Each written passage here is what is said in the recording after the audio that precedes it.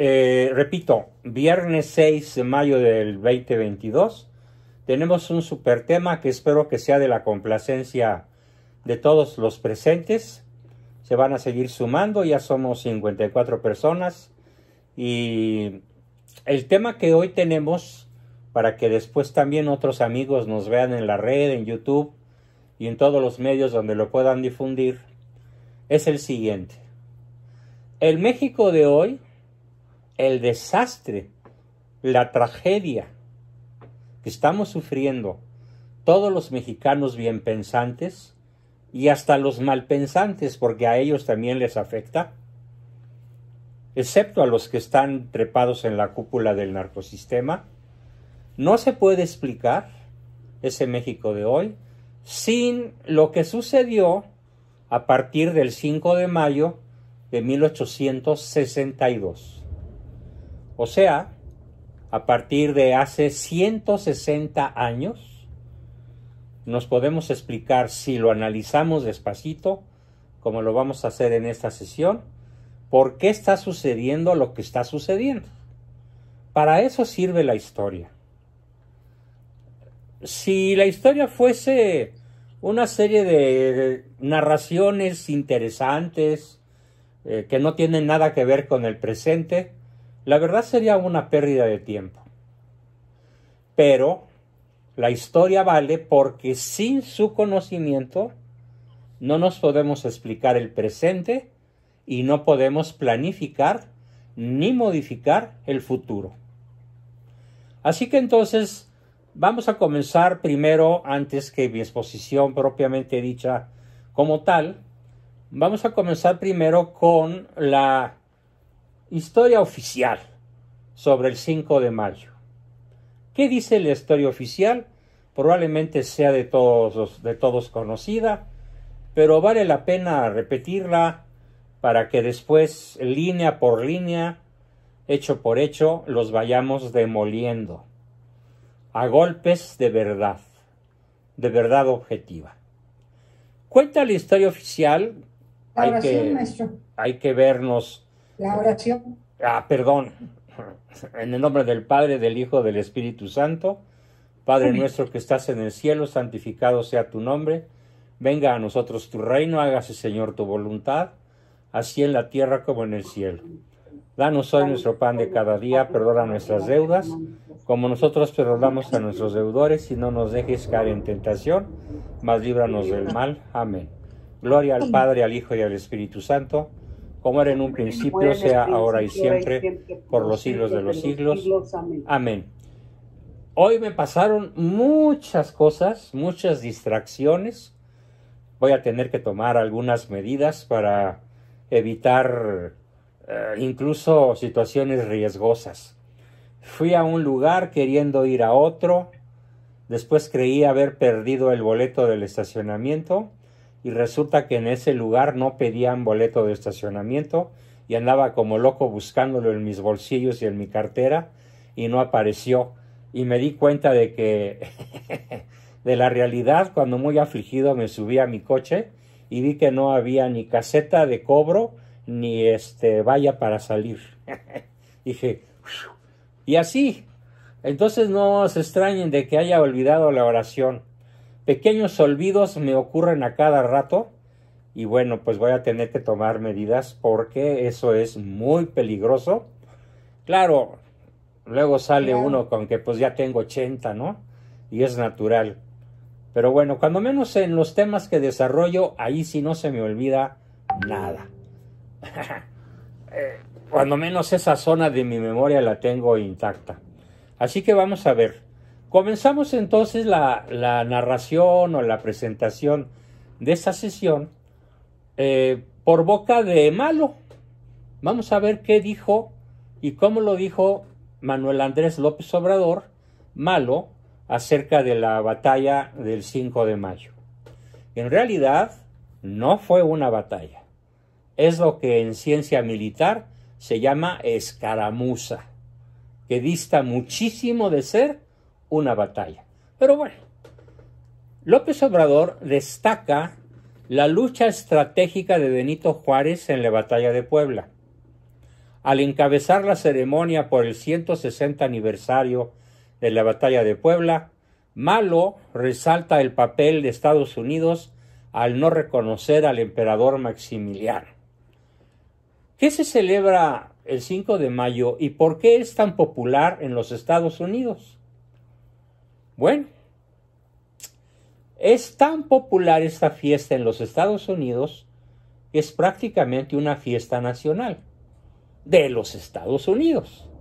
Y además de los 30 o 40 millones de compatriotas que viven allá, tal vez más. Hay quien dice que son 50.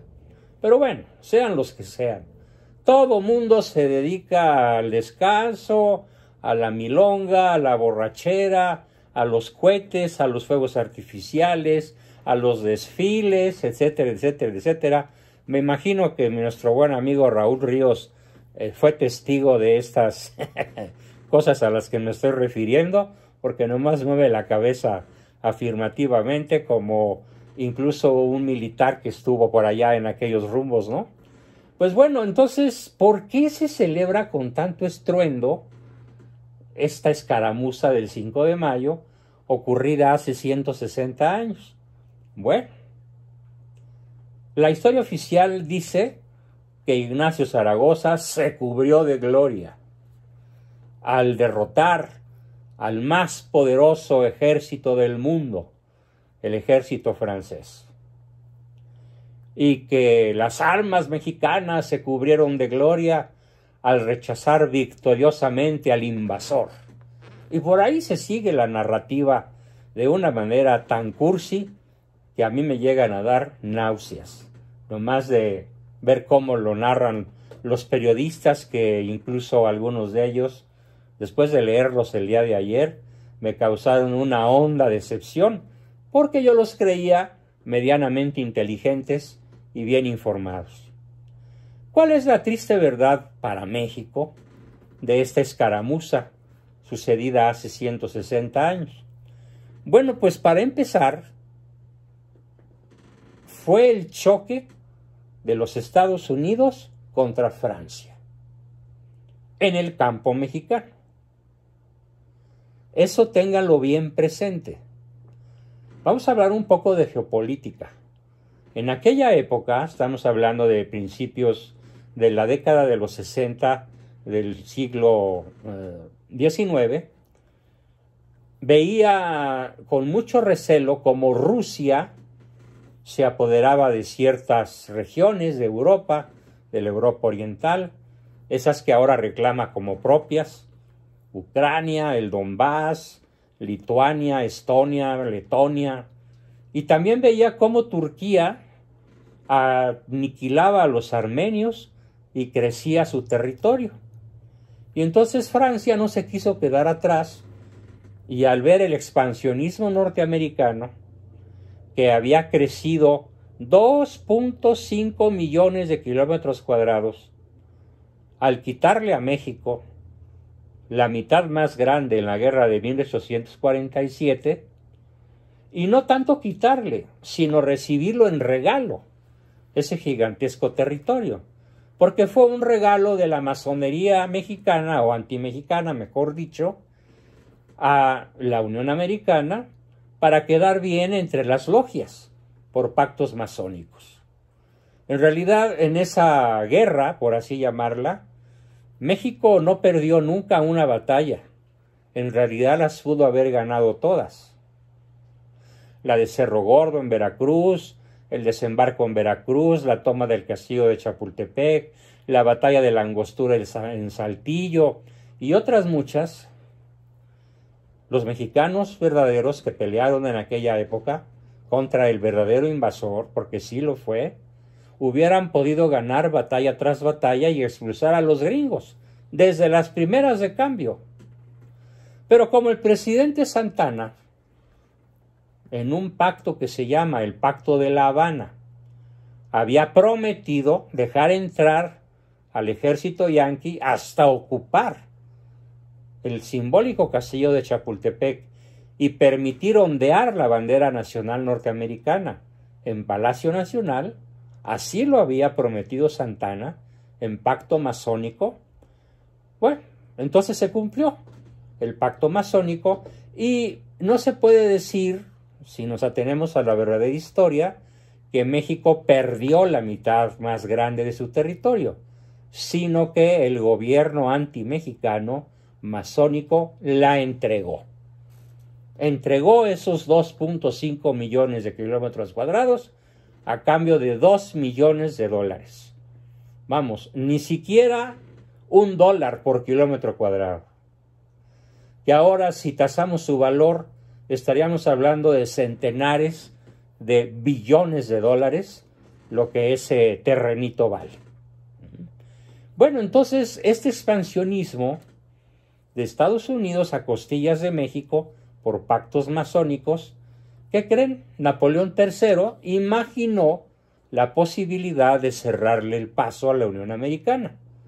¿Y qué mejor que con el pretexto de cobrarse una enorme deuda que tenía Juárez con Francia, con España y con Inglaterra, aprovecharon el viaje, bueno, los franceses, perdón, los ingleses y los españoles cobraron su dinero en una triple al flota que vino a Veracruz y bombardeó Veracruz y exigió el pago de la deuda.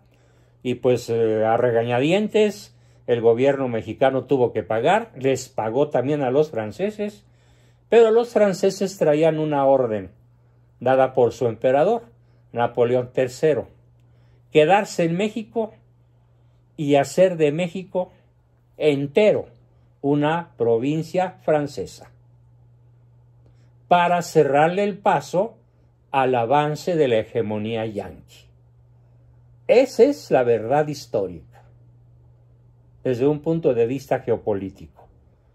La geopolítica siempre ha existido, nada más que obviamente, pues a ustedes nunca se las enseñaron, así hayan tomado cursos en la UNAM, nunca lo escucharon esto, y es una verdad arrolladoramente comprobada en miles de documentos.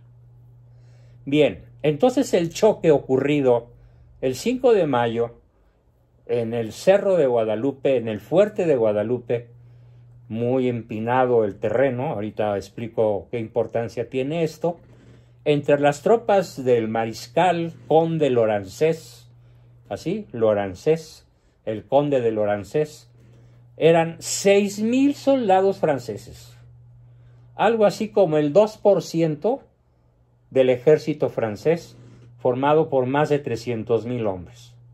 Así que no se derrotó de ninguna manera al ejército más poderoso del mundo. Es una falsedad que, bueno, se necesitan tragaderas enormes para poderla digerir.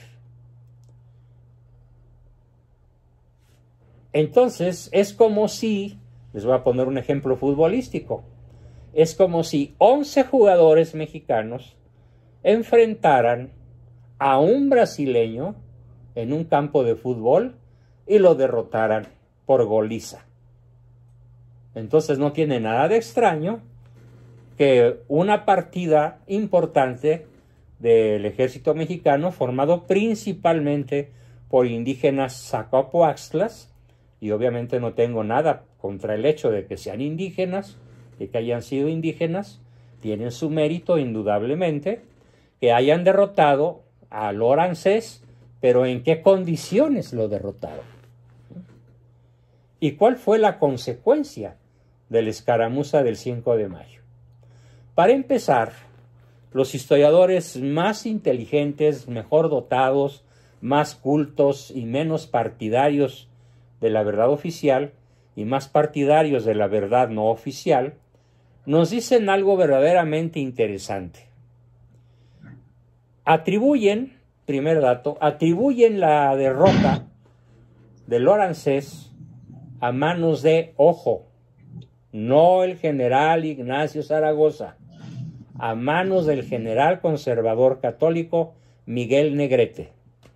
No fue Zaragoza el que dirigió a las tropas mexicanas contra los hombres de Lorancés. Falso. Sí, no te preocupes. Tengo que silenciar al grupo.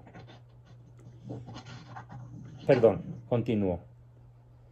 No fue pues el general Zaragoza el que dirigió a los 15 o 20 mil soldados mexicanos que iban a hacer huir al Lorancés, porque el cometió una torpeza explicable únicamente por su enorme soberbia. Porque llegaron a México los franceses pensando que pues iban a aplastar cualquier resistencia militar, porque consideraban a México un país de indios sombrerudos, dedicados al pulque, a la mala vida, al vicio, y que no iban a tener ninguna capacidad de defensa militar. Si todavía en el siglo XXI nos siguen viendo de alguna manera parecida a la que acabo de decir, Imagínense hace 160 años. Pues la imagen que tenían era peor. Entonces llega Lorancés con sus seis mil soldaditos, todos muy lindos, muy bien uniformados, eh, con la bandera francesa tricolor, egalité, fraternité, liberté, y se enfrentan a una tropa mexicana, pero ¿en qué condiciones? Imagínense, por favor, lo que les voy a explicar. ¿Ven esto? Bueno, aquí en la punta de mis dedos está el fuerte Guadalupe o los fuertes de Puebla. Si alguien conoce Puebla, recuerden que tienen una elevación de unos 300 o 400 metros sobre el nivel del terreno poblano, lo cual da una considerable elevación sobre el nivel del mar. Bueno, y Lorancés está abajo, ¿Y cuál es la estupidez soberbia que comete el orancés? Atacar hacia arriba. Entonces quiero que se imaginen ¿no?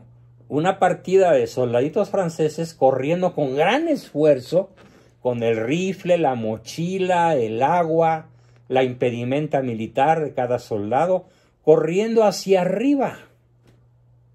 ¡Qué estupidez militar! mientras que los mexicanos lo único que hicieron fue correr hacia abajo y arrollar a los franceses.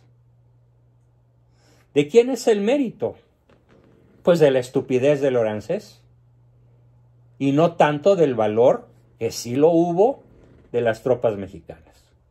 Además, debo repetir que Zaragoza, ese tipo que tiene avenidas, puentes, eh, camellones, estadios, y bueno, cuantas cosas han podido nombrar eh, con el nombre del general Zaragoza, Ignacio Zaragoza, acá en la Ciudad de México, una de las principales avenidas, la que sale del centro de la ciudad y conecta con la autopista Puebla, se llama Calzada Ignacio Zaragoza, de ocho carriles, cuatro centrales de cada lado. Y, ah, y más porque tiene laterales. Entonces, ¿cuál es la triste verdad?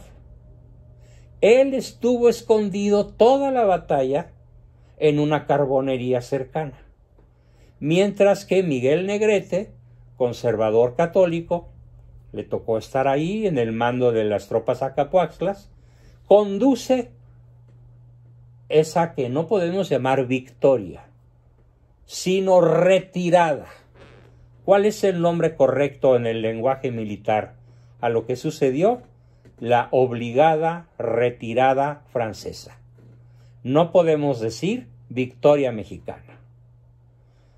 Les pongo un ejemplo muy chusco para que todos me puedan entender, o mejor dicho, para darme a entender yo de una manera apropiada. Si alguno de ustedes le va a un equipo de fútbol o de béisbol o de básquetbol o de lo que sea, imagínese el primer tiempo, como lo que acaba de suceder en la Copa UEFA o no sé qué allá en Europa. El primer tiempo, Manchester United 2, Real Madrid 0. y los ingleses se ponen a celebrar.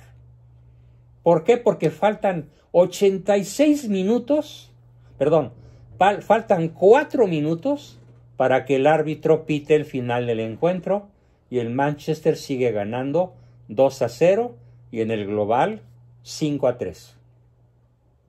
Y se pueden a celebrar como locos. y no se enteran por andar celebrando en la borrachera, en los gritos, en algún lugar parecido al Ángel, que podría ser eh, alguna plaza por ahí en alguna ciudad inglesa, se ponen a celebrar el triunfo inglés. Y no se dan cuenta que en los últimos cuatro minutos del partido, el Real Madrid les mete dos goles. Y esto obliga a irse a tiempos extras. Y en el primer tiempo extra, no bien empezado, el Real Madrid anota el gol de la victoria. Bueno, pues así fue. Ahora dejemos el lenguaje futbolístico y veamos realmente qué pasó. Primer tiempo, México 2, Francia 0. Segundo tiempo, Francia 5, México 3. ¿Por qué? Porque lo que sucedió fue que el Orancés se reagrupó. Voy a poner otro ejemplo, en este caso militar. ¿Rusia fue derrotada en la capital de Ucrania? No. Rusia fue obligada a retirarse al sur y al este y en el este y en el sur las tropas rusas se reagruparon porque la resistencia ucraniana en Kiev fue verdaderamente asombrosa.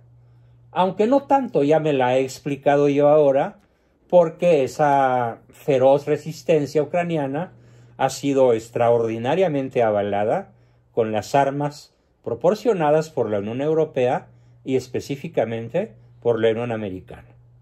Sin ese armamento, Ucrania hubiera sido tomada toditita en cuestión de días. Bien, entonces, ¿qué tenemos que celebrar? Nada. Porque además, ¿alguien de ustedes sabe cuánto tiempo duró el ejército francés en poder de México? No de todo México, sino del centro de México ¿Cuánto tiempo duraron las tropas francesas aquí en el territorio nacional mexicano antes de ser expulsadas, desgraciadamente por el bando liberal, con ayuda de la Unión Americana? Cinco años. Muy bien, Juan Carlos, cinco años. Entonces, ¿cuál victoria? Es verdaderamente ridículo enseñarles a los niños, jóvenes y adultos de este país que las tropas francesas fueron victoriosamente derrotadas por el heroico ejército mexicano conducido por un héroe nacional llamado Ignacio Zaragoza y que nuestras armas y la bandera se cubrió de gloria y de honor. Falso. Me irrita que se enseñe de esta manera. Porque la verdad es que Francia se reagrupó y un poquísimo tiempo después, ¿qué creen que pasó? tomó Puebla, como quien le quita un dulce a un niño de la boca o de las manos. Tomó Puebla y lo más interesante, todo Puebla se volcó a las calles a celebrar la entrada victoriosa del ejército francés comandado por el conde de Lorancés. ¿Por qué? ¿Cómo nos explicamos que todo Puebla, capital del estado de Puebla, se haya sumado a la entrada victoriosa del ejército francés, porque los poblanos militaban en el bando católico, mal llamado conservador. Entonces, ¿cuál era el verdadero problema? ¿Cuál era el verdadero conflicto? El verdadero conflicto era un choque entre el México católico comandado fugazmente por un héroe nacional que sí merece nuestro reconocimiento y cuya biografía tendremos aquí que analizar, llamado Don Miguel Miramón. Y otro héroe nacional llamado Don Tomás Mejía.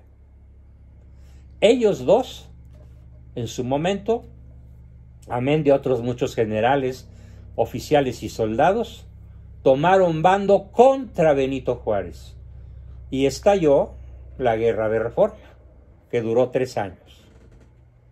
Guerra de Reforma que fue conducida hasta la victoria militar, hasta el fusilamiento de Maximiliano, Miramón y Mejía en el Cerro de las Campanas, de la manera más inicua cruel e injusta por orden de las logias en contra de los jefes del ejército católico, mal llamado conservador. ¿Qué se les enseñó en la escuela a todos ustedes? Mejor dicho, a todos nosotros, incluyéndome porque, bueno, aquí una anécdota muy divertida. Yo llegaba a mi casa desde, no sé, me acuerdo muy bien, ya cuarto de primaria, y le dije a mi papá, oye papá, este, necesito cinco pesos. ¿Para qué, hijo? ¿Para qué necesitas cinco pesos? Es que fíjate que en la escuela me dejaron una tarea y tengo que comprar plastilina, cartulina, eh, lápices de colores, este, un cañoncito. ¿Y eso para qué? Ah, pues para hacer una representación de la victoria mexicana sobre el ejército francés. Me acuerdo muy bien lo que hizo mi papá. Se pegó así fuertemente en su enorme frente. No puede ser, me indigna. Mañana vamos tú y yo a la escuela a hablar con el director. Bueno, muy bien, papá, pues como tú digas, ¿no? y al día siguiente nos apersonamos él y yo en la dirección de, general del colegio. Me acuerdo muy bien, el profesor se llama el director, tipazo de 1,90, un español venido desde la guerra de España, refugiado aquí, eh, Alberto Vázquez Bracho y recibe a mi papá y empieza con mucha calma mi papá a explicarle, don Alberto, a ver, ¿usted qué cree que pasó el 5 de mayo? Y pues don Alberto suelta la historia oficial. Y mi papá saca un libro de historia que él había escrito. Le dice, pues don Alberto, lamento mucho decirle que está usted rotundamente equivocado. ¿Eh? La verdad es esta. Pum, pum, pum, pum, pum. Le dio una lección de historia que todavía retumba en mis oídos y que en gran medida estoy platicándoles a ustedes. Me basta con acordarme de mi padre. La entrevista duró como una hora y a don Alberto casi se le salen las lágrimas de vergüenza. Y dijo, lo que pasa es que tenemos inspectores de la Secretaría de Educación Pública y si no nos atenemos al programa oficial, nos retiran la concesión de la primaria, la secundaria y la prepa. ¿Qué vamos a hacer, don Salvador? Y mi papá le propuso una solución salomónica. Enséñeles a los niños las dos historias, la verdadera y la oficial. Y díganles que la oficial está impuesta por el gobierno y cuando llegue el inspector, pues que le llenen el caldo, los oídos de caldo flaco o de caldo gordo pero que los niños sepan la verdad sobre nuestra historia, porque solo la verdad nos hace libres. Don Alberto dijo, pues lo voy a pensar, lo veo muy difícil, qué barbaridad. Y yo le dije a mi papá, papá, no te preocupes, tú enséñame a mí a partir de ahora la verdadera historia y cada vez que haya examen de historia yo voy a poner las dos respuestas. Usted, maestro, dijo tal cosa, pero la realidad es esta. Y si quiere, en una ocasión fui muy grosero y le escribí al profesor, si usted quiere desasnarse, tomen en cuenta que yo tenía 11 años, 10.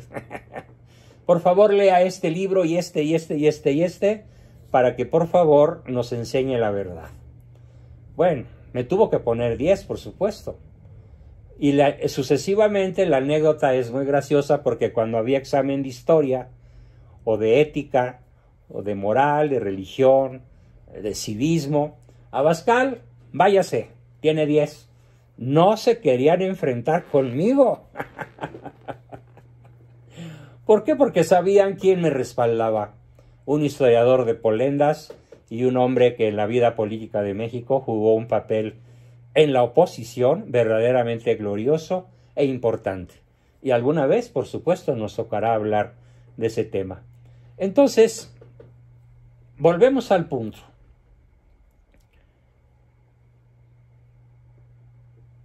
¿Qué sucedió una vez que Lorancés se reagrupa, toma Puebla y empieza la guerra de los tres años? La guerra de reforma. ¿Cómo es posible que esa guerra la haya perdido una nación católica contra un ejército liberal, comandado por Juárez? ¿Cómo pudo, haber sucedido que una mayoría abrumadora, en proporción de 100 a 1, literalmente, haya perdido la guerra más importante que se ha librado en nuestro territorio, la guerra civil llamada Guerra de Reforma. ¿Por qué tuvo que ocurrir así? ¿Por qué sucedió así? Bueno, entonces hay que entender, repito el concepto, que Estados Unidos se ha adueñado de la tradición del 5 de mayo y la ha convertido en una fiesta internacionalmente reconocida en la que compatriotas mexicanos y estadounidenses encienden la fiesta con guacamole, fajitas, adornos mexicanos, cerveza, tequila, mariachi y desfiles cada 5 de mayo, hay que entender que en realidad se trata de un choque político, económico y militar entre Francia y los Estados Unidos en terreno mexicano. Ya la cancha fue México, pero el choque brutal fue entre las dos potencias hegemónicas de aquella época. Hay que recordar que Francia tenía enormes territorios en África, enormes territorios en el lejano oriente. De hecho, Francia estuvo en Vietnam, en Corea, Francia estuvo eh, eh, en lo que ahora es Taiwán, en muchas partes de China, y claro, fue militarmente expulsada hasta que se redujo a su territorio actual, e incluso perdió las posesiones en África, la más importante de todas era Argelia, ¿sí? y, la, y finalmente Francia se quedó chiquita como es en la época actual. Pero en aquella época era un imperio, el imperio francés. Y Napoleón III no era un rey, era un emperador. Entonces el choque fue entre los presidentes norteamericanos de la época y el emperador francés con todas sus fuerzas militares, económicas, políticas, diplomáticas y además también fue el choque de logias enemigas entre sí. No crean ustedes que la masonería es un bloque unificado, no.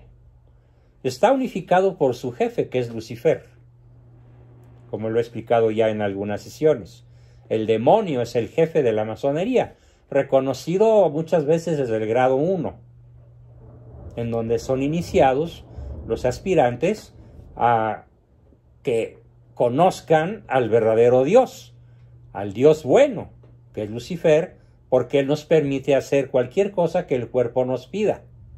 Mientras que Adonai, como es llamado Dios Padre en la Biblia, Adonai es el Dios malo. ¿Por qué? Porque nos dio libertad de hacer lo que queramos. Pero si actuamos en contra de su código de ética, entonces nos castiga y por eso es el Dios malo. Así que la misión de la masonería es liberarnos del yugo de la sumisión al Dios malo. Lucifer ha prometido la libertad y la dicha eterna y los masones se la creen.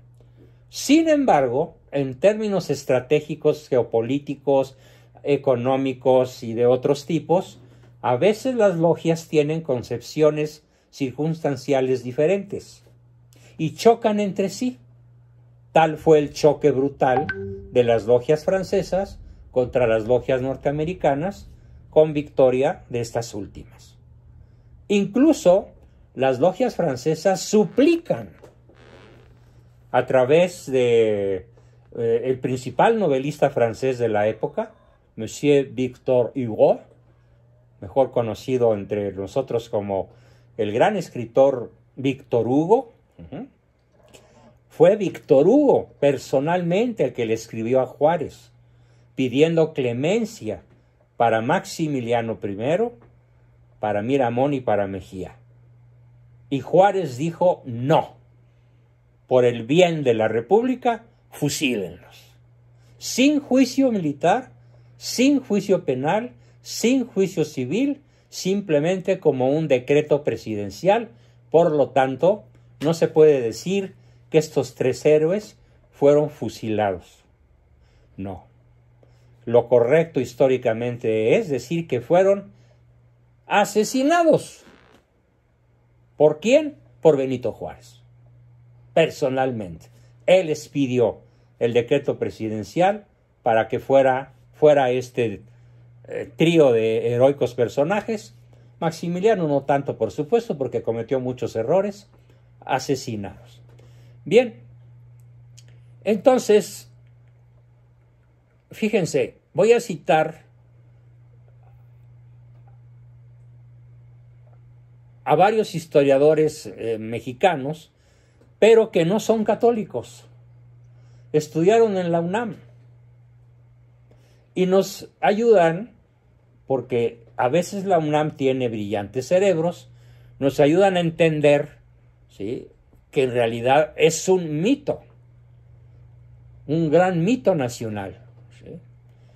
Y varios de ellos nos dicen de la siguiente manera.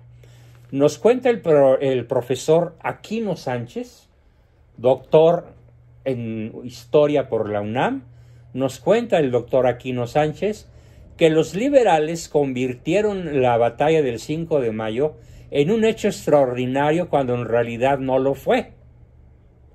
Porque incluso el general Ignacio Zaragoza, está hablando el profesor de la UNAM, el general Ignacio Zaragoza reconoció que la batalla de Puebla se ganó, la escaramuza se ganó, gracias a la inmensa torpeza del conde de Lorancés, quien había planeado una batalla campal contra sus adversarios, contra los cuales tuvo que pelear cuesta arriba.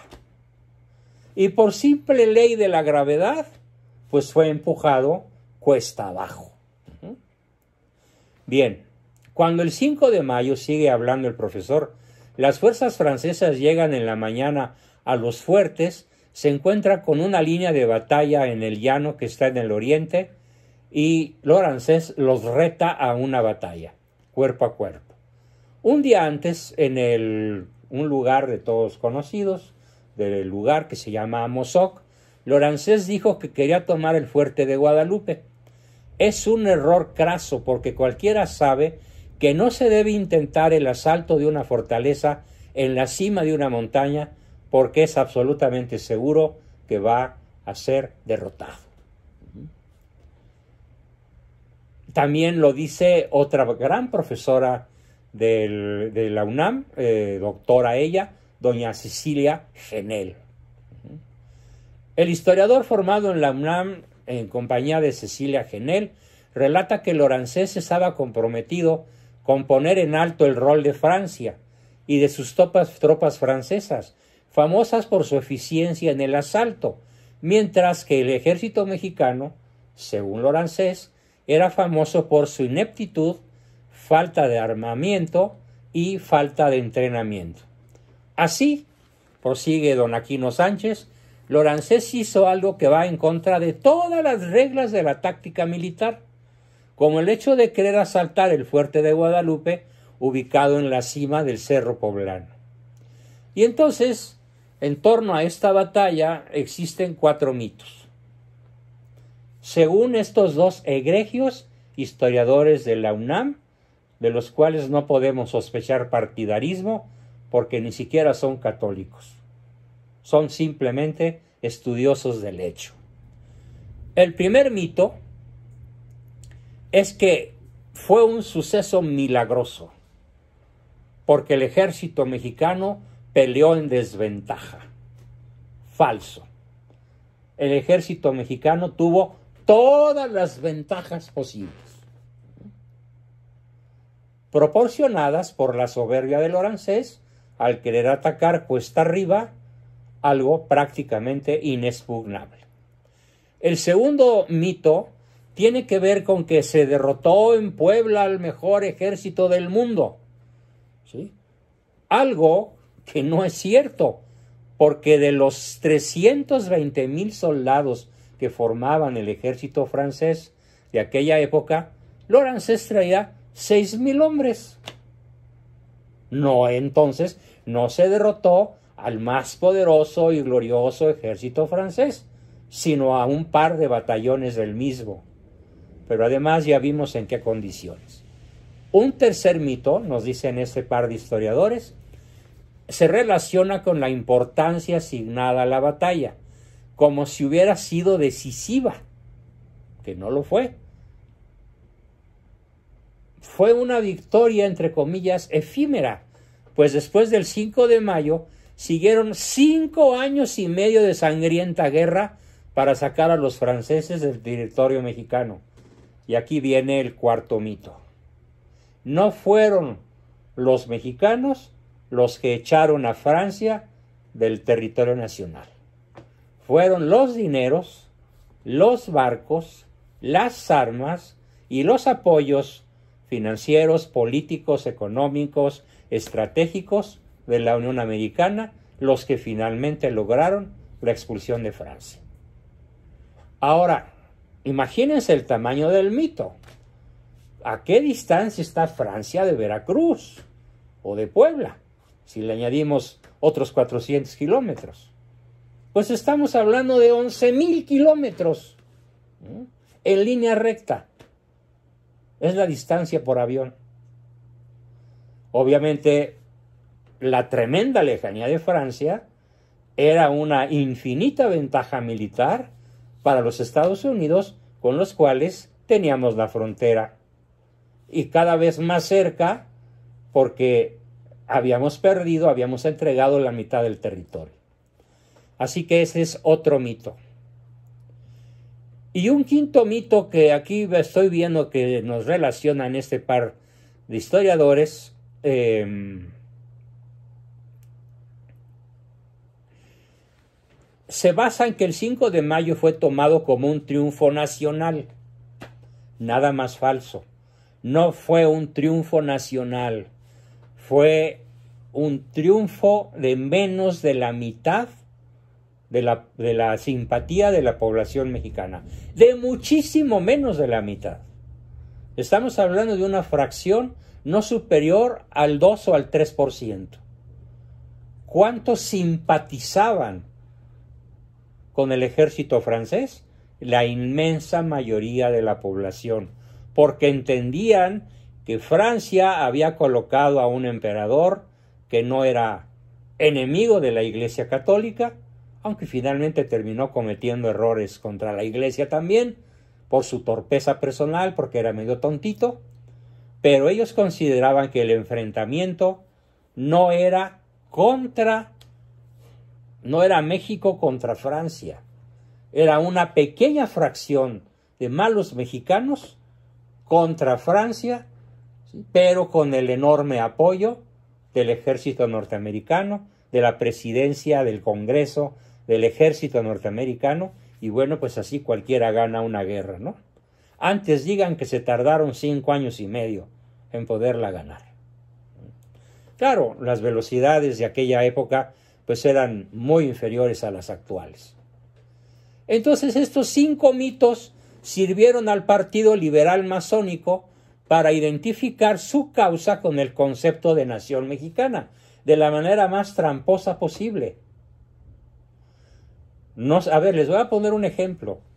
Los Estados Unidos están divididos casi a la mitad entre demócratas y republicanos.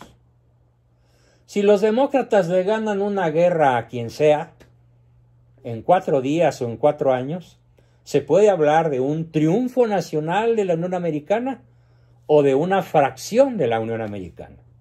O si ganan los otros, los republicanos.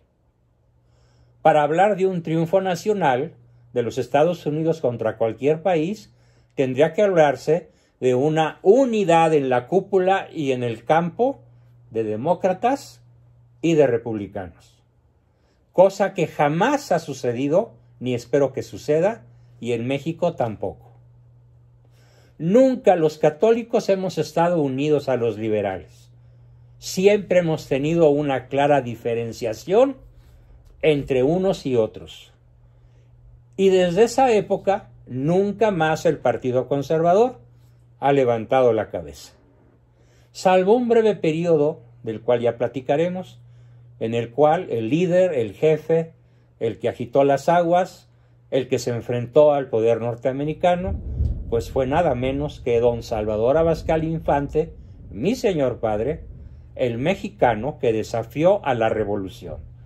Como nos lo explica el gran historiador de la UNAM también, bueno, en este caso de la Universidad de Guadalajara, eh, un gran historiador del cual en estos momentos estoy olvidando su nombre, pero...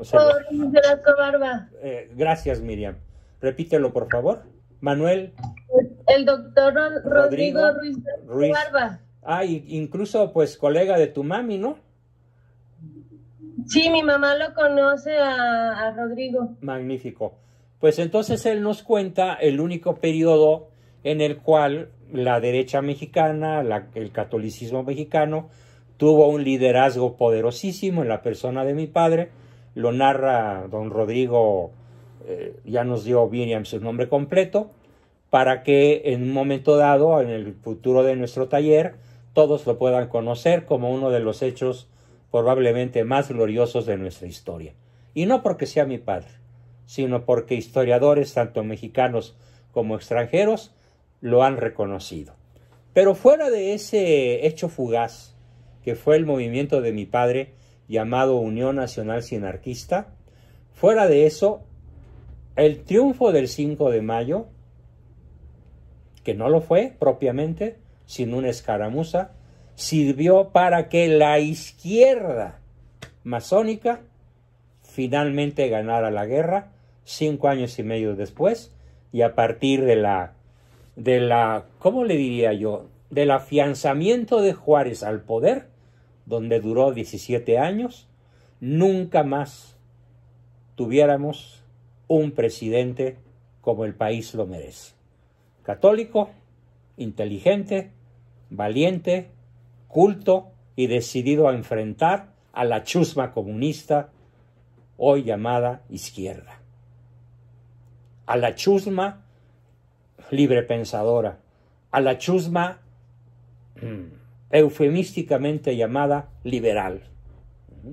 Nunca más hemos tenido un presidente así. El último fue don Miguel Miramón y Mejía, y dio la vida por la defensa de la patria asesinado vilmente en el Cerro de las Campanas. ¿Por qué se exagera entonces tanto esa supuesta victoria del 5 de mayo, que en realidad es una escaramuza fugaz? Bueno, pues porque es una manera de reivindicar tramposamente a México en el primer mundo, un país que era considerado de barbarie y de razas inferiores, por lo cual se apropian de la escaramuza del 5 de mayo para levantar la autoestima de todos los chairos de la época y de esta época, porque fue una arma maravillosa para levantar la autoestima de los mexicanos y colocar a México a la par de Francia. Le dimos en la torre a los franceses. Bueno, pues eso ha sucedido una sola vez en la historia. El día que con dos goles extraordinarios México derrotó a Francia en el Mundial de Sudáfrica. Fuera de eso, si imagináramos en esos momentos un enfrentamiento militar, sería algo así como el de una ranita contra un elefante. En fin. Eh, de paso, dicen los historiadores, ese 5 de mayo dio impulso a la causa, fíjense, ellos lo reconocen. Literalmente Ahora sí que cuando el adversario nos da los argumentos, pues ya ni para qué discutir.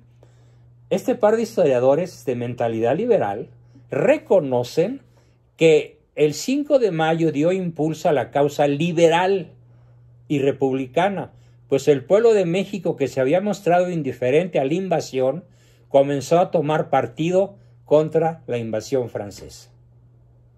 Claro, pues los masones tienen una capacidad extraordinaria para manipular la historia. Ellos se han apoderado de la narrativa. Bueno, lo vemos en las mañaneras de todos los días. La narrativa la tiene malo y eso es lo que se cree como verdad absoluta. Entonces, el apoderarse de la narrativa del 5 de mayo hizo que la población mexicana poco a poco se fuera cambiando torpemente, traidoramente de bando del bando católico al bando eh, liberal, eh, gracias a la difusión anecdótica de la heroica batalla del 5 de mayo. Qué manera de hacer trampa. Verdaderamente me indigna.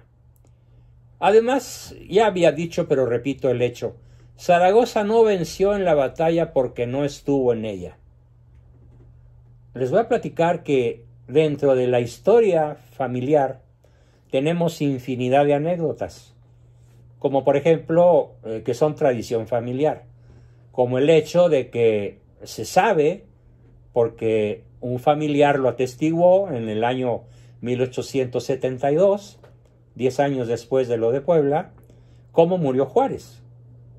Vio bajar su alma al infierno. Un gran arzobispo cuando estaba celebrando misa. Ya le platicaré al grupo el hecho. Y otro hecho tradicional en la familia que se ha venido, eh, digamos, eh, difiriendo, perdón, transfiriendo, es el verbo correcto, de bisabuelo, abuelo a padres, hijos y nietos. En este caso, el abuelo de mi abuelo, también de apellido Abascal, nos narró, bueno, nos dejó la narración a toda la familia, que lo hemos escuchado con gran asombro, que Zaragoza estuvo escondido en una carbonería, mientras el general Miguel Negrete hacía correr a los franceses hacia abajo. Pero ¿qué creen que fue lo que pasó? Pues que el general Miguel Negrete, como era subordinado de Zaragoza, una vez que logra hacer correr a los franceses campo abajo y que no ve que regresen, cuando menos no regresan pronto, en cuestión de horas, ni días, ni semanas. Entonces Miguel Negrete se acerca al general Zaragoza y le dice, mi general, ganamos la batalla, nos cubrimos de gloria, por favor firme el parte de guerra.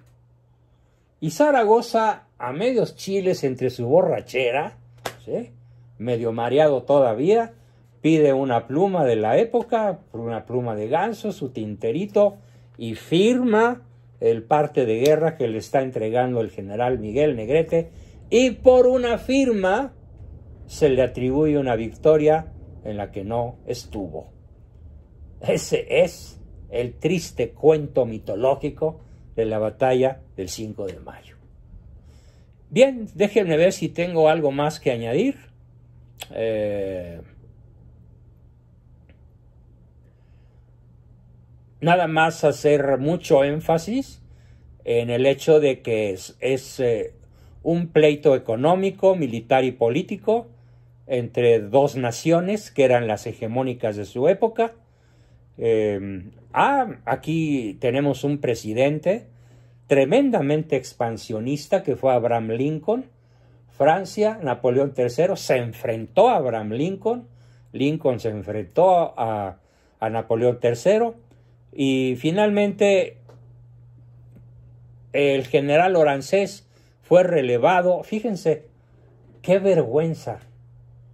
El mariscal Forey, el mariscal Forey, que era el general en jefe del ejército francés, pero que estaba cómodamente en Veracruz en su barco, tomando coñac francés y durmiendo sus 12 eh, horas diarias, sin involucrarse nunca en la invasión de aquellos seis mil soldaditos, después de que se enteró en detalle de cómo había sido la batalla de Puebla, ¿qué creen que fue lo que hizo?